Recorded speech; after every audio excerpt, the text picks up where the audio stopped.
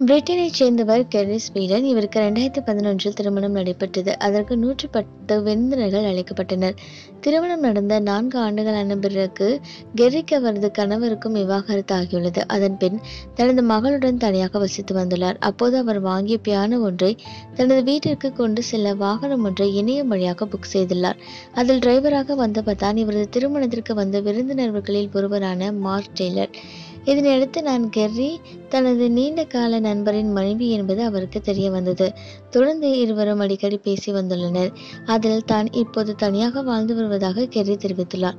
மேலும் இது குறித்து கெர்ரி தெரிவிக்கையில் ஒரு நாள் அவர் திடீரென்று ஒரு பூங்கத்துடன் வந்து என்னை டேட்டிங்க்கு அழைத்தார். என்னால் மறுக்க முடியவில்லை. அதன் பிறகு நாங்கள் இருவரும் ஒன்றாகிவிட்டோம். மார்க் பாலிசிஸ்டிக் கிட்னி எனப்படும் மரபணு நோயால் பாதிக்கப்பட்டார். அவரது சிறுநீரகம் செயலிழந்தது. தனது சிறுநீரகத்தை கொடுத்தேன். மருத்துவர்கள் இது வெற்றிகரமாக அவருக்கு பொருத்தினர்.